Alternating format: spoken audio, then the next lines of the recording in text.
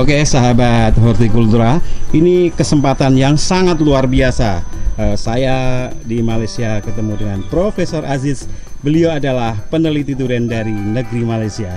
Nah, kali ini saya akan tanya-tanya ke beliau bagaimana persiapan buat kalian-kalian yang ingin berkebun durian, istilahnya eh, yang ingin baru bermula, ingin berkebun durian. Eh, Pak Profesor Aziz, Ya, eh, to- kita minta berbagi tips eh, bagaimana supaya kita mempersiapkan lahan untuk berkebun durian bagi pemula. oke. Yang pertama, yap kita memilih lahan itu harus ada. Boleh fokus kepada kolamnya air di sana, tanah itu. Airnya seharusnya cukup dulu, ataupun lebih dari cukup. Selepas itu selalunya eh, pengurusan air ini yang penting selepas ditanam setahun dua tahun untuk establishment supaya pohonnya hidup dan segar supaya akarnya daripada polybag yang kita tanam itu cepat tumbuh. Jadi permulaan itu harus disiram beberapa liter satu pohon mungkin sekurang-kurangnya dua kali sehari pagi sekali petang sekali. Terutama di musim kemarau. Untuk awal tanam, Pak. untuk awal tanam dulu. Mesti kecuali hari hujan. Ya. itu untuk setahun dua tahun. Itu kalau sistemnya mungkin micro micro sprayer dan sebagainya macam-macam cara. Walaupun siram manual kalau ada karyawan pekerja ramai kita bisa pakai hose juga. Kalau tidak satu hektar dua, dua hektar bisa. Mm, mm, mm, mm. jadi Tapi tiap kalau- hari siram beberapa 50 pohon, 100 pohon, 200 pohon bisa. Bila pohon sudah Ribuan. sudah ribuan dan sudah membesar sampai kanopinya 10 meter, Hmm. itu mungkin disiram pasal micro sprayer sudah tidak gak cukup, terutama di musim kemarau. Kerana seharusnya itu mungkin tiap-tiap meter persegi luas kanopi mungkin uh, 5 liter per meter. 5 liter air. Jadi kalau kanopinya 100 meter sudah 500 meter untuk disiram tiap hari. Oke.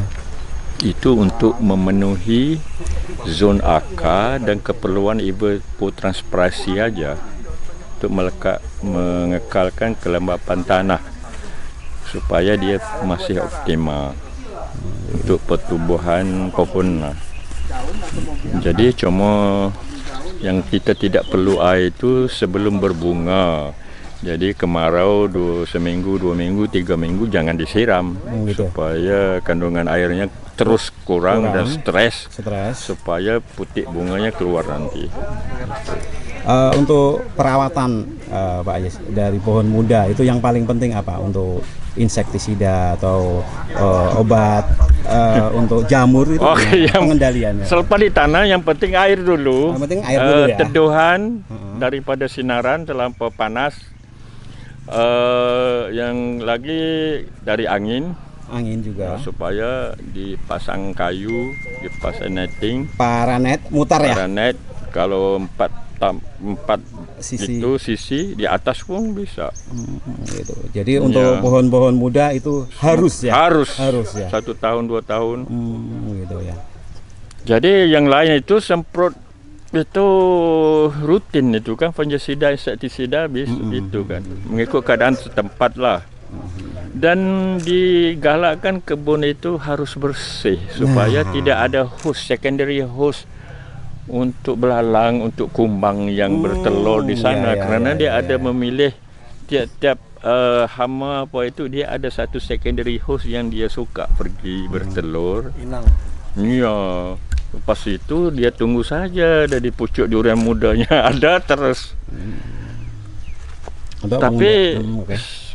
cuma apa ini hama atau insek ini tidak begitu serius saya kira. Kerana dia makan daun yang penyakit lah. Terutama rhizotonia hawa daun itu kan Hawa yang daun, ya. bawah itu kalau tempat nursery bibit kalau kena habis semua kan pohon besar Ya. tuna itu yang pertama kanker, yang kedua hawa daun lah. Hawa daun. Selain dari penyakit akar. Oh, terus tantangan terbesar untuk pekebun durian Iya, itu apa? itu dua yang utama. Tiga lah. Itu eh, kanker batang. Oh ya, itu oke. setelah matang. Heeh. Di awal peringkat kurang lagi. Yang kedua siram air tidak mati kemarau. Hmm. eh, apa itu hawar daun yang memang bahaya juga. Kadang-kadang satu pohon habis semuanya daunnya gugur. Ini sama di 24 ya Pak Iya. Aziz ya. Ya, di 24. Jadi kebunnya kebanyakan 24 dan satu dua pohon di 99 99. Ini memang kelun yang terdulu. Ini yang sebelum Musangking. Oh. Oke. Sebelum Musangking Jaya ini udah lebih Inilah, dulu. ini standar Malaysia sampai sekarang masih ada peminatnya. Masih banyak tersendiri. peminatnya. Iya, termasuk saya.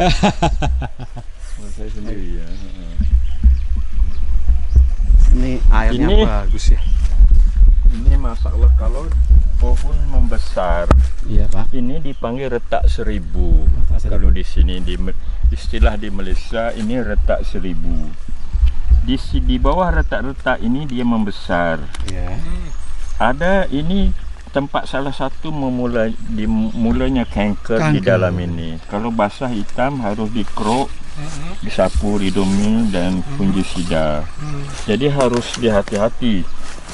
Tapi ada kalanya dia baik sendiri di bawah ini. Kerana dia membesar dia pecah retak supaya dia dapat membesar. Eh, solusinya Pak paling aman gimana? Kalau kita lihat gejala retak-retak kita harus bersihkan eh, kulit luarnya atau iya, gimana? Betul ya. menggunakan pisau parang. Heeh. Bila udah retak, Retak tapi begitu. tahu Heeh. kalau yang itu hitam dan basah sedikit. Langsung olesin ridomil. Ah, jadi kalau kalau apa tuh was-was lah. Jadi Oke. keruk dulu. Kalau udah basah, kalau udah nampak tisu yang putih segar, oke. Oke. Kita perhatikan.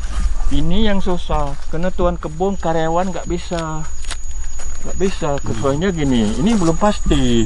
Kadang-kadang di musim hujan tempat biaknya Petoptera sporanya masuk di sini. Tapi nampak ini. Ta- Ada setengah pohon lokal kampung dia tahan. Walaupun dia attack dia baik sendiri. Kita juga kadang di lapangan jumpain ada pokok durian yang pucuknya tidak mau membuka dan kering. Kering. Itu kenapa itu Pak? Pak Aziz? Pokoknya itu pucuknya tidak mau membuka. Flashingnya itu nggak mau buka. Kemungkinan air juga saya Air kan juga. kekurangan air. Wah ini kesempatan yang luar biasa. Iya. Kita pagi-pagi udah kuliah pagi bersama Profesor Aziz. Sakaria. Saya pun masih belajar. Ah, Aziz.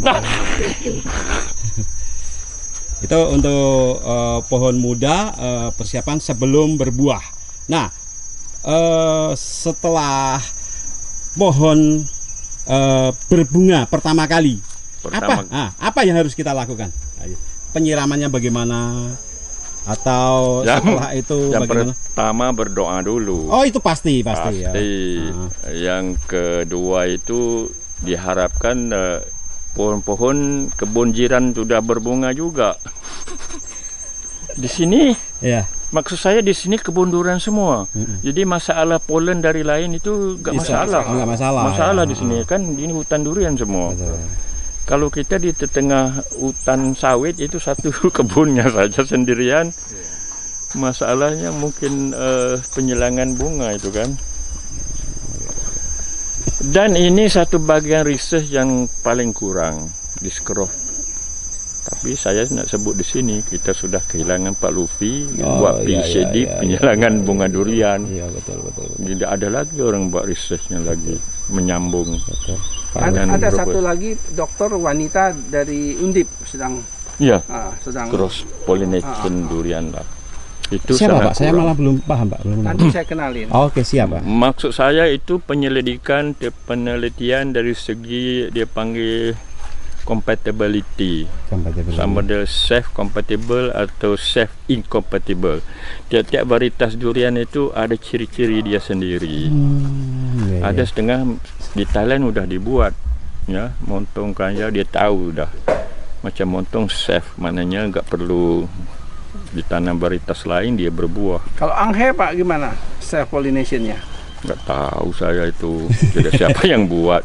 Yang baru Mardi buat yang akan dibuat seminar di Bangi itu ke Musangking. Tapi baru pertama kali penelitian.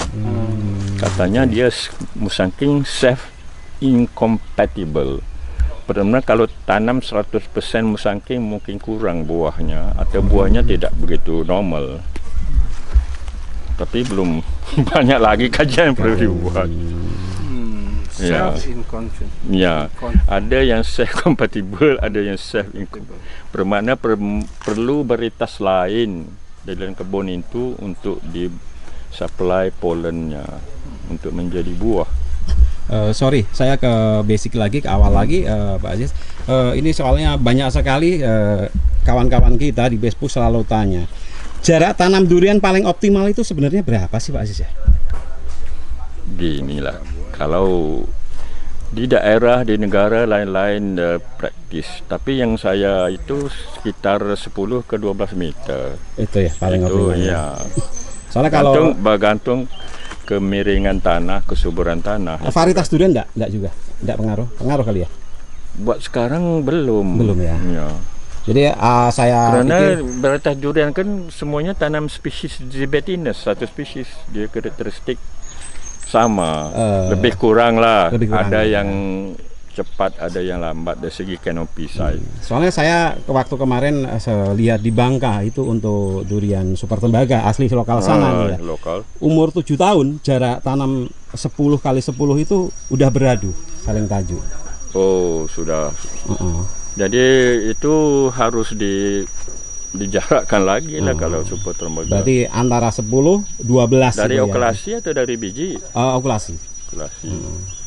Mungkin tanahnya terlalu terlalu subur. Oh, bisa jadi. Iya, rawatannya itu mungkin pohonnya sedikit. Hari-hari dia di situ, gitu ya. kan? Pohonnya gede nanti. Oke, oke, oke. Kalau dia tanam, Ada tip nggak eh, Pak Aziz eh, supaya pohon apa eh, buah kita itu rasanya bisa maksimal gitu ada tip wah, Ini yang sangat eh, susah sekali saya memang susah sekali lah. karena eh, banyak sekali faktor yang Banyak membuat lagi kalau pergi ke karangannya itu Pak Johan itu udah 16 tahun, 20 tahun masih dia mencari-cari formulanya. Mau buah yang rasanya bagus. gitu ya.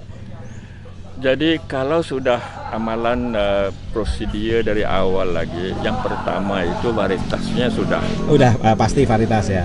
ya Oke. varietas sudah pasti. Tentukan dulu eh, varietas yang bagus. varietasnya dulu. Hmm. Kalau varietasnya tidak pasti, tidak tahu Oke. kan maknanya varietas itu sudah teruji, Hmm. mati lokasinya sudah adaptif lebih. Oke, oke. Buat bandingkan lah sekarang, kalau Musangking dengan D24 masih sekarang adaptif Musangking. Ya, oh. perangainya. Oke. Baik, baik, kabar. Jadi varietas dulu. Oke, Nanti oke. Pak Ajis, apa kabar? Kita jumpa di Bukit Tajam Gerai saya. tahu. saya saya dari sini Kuala Lumpur, yang lain dari Jakarta, Surabaya, dari Pontianak ada satu orang. Dari Semarang ya. Dari Semarang. Medan. Oh dari Semarang ada? Kamu dari Semarang? Iya, Pak. Gunung Pati, Pak. Semarang dari dari Medan. Selamat datang dari Medan. Semarang salah satu Bapak. tempat ya saya. Sekarang Asia sudah dari ke Semarang. Ada, ada, ke Solo ada, ada. Ada. Oke. Oke. Jumpa lagi. Nanti saya ke Semarang. Oke, siap, siap. Oke, terima kasih sahabat Hortikultura. Pagi ini kita sangat beruntung sekali bisa ketemu Profesor Aziz dan beliau sudah berbagi tip eh, bagi kalian yang ingin berkebun durian. Mudah-mudahan ke depannya kita bisa semakin maju. juga nih. Wah. Bos kebun. Oke, oke, oke, oke. Pada tuan kebun. Oke, thank you sahabat.